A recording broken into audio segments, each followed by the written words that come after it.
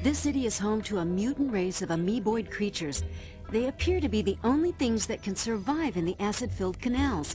Our reconnaissance has shown that there may be a secret lab hidden beneath the Opera House that was once the crown jewel of the city. Speaking of jewels, the eye may be inside the lab. Check there first and find out. Oh, and be careful around the acid. I don't want that pretty face to get scarred.